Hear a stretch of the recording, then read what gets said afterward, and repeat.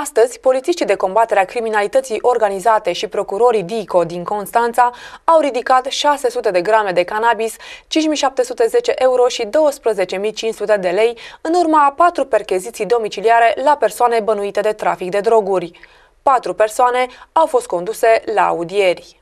În această dimineață, polițiștii Brigăzii de combatere a criminalității organizate Constanța și procurorii DICOT, Serviciul Teritorial Constanța, cu sprijinul polițiștilor din cadrul Inspectoratului de Poliție Județean Constanța și al jandarmilor, au efectuat patru percheziții domiciliare în municipiile Constanța și Megidia la persoane bănuite de trafic de droguri de risc. În urma perchezițiilor la o fermă dezafectată de lângă municipiul Megidia a fost descoperită o cultură de cannabis, iar din locuințele celor în cauză au fost ridicate aproximativ 600 de grame de cannabis, 5710 euro și 12500 de lei, bani proveniți din comercializarea ilicită a drogurilor. Din cercetări a reieșit că cei în cauză ar fi comercializat drogurile în municipiile Constanța și Megidia. Cele patru persoane vizate au fost conduse la sediul DICOT, Serviciul Teritorial Constanța, pentru audieri și dispunerea măsurilor legale. Acțiunea a beneficiat de suportul de specialitate al Direcției Operațiuni Speciale din cadrul Inspectoratului General al Poliției Române.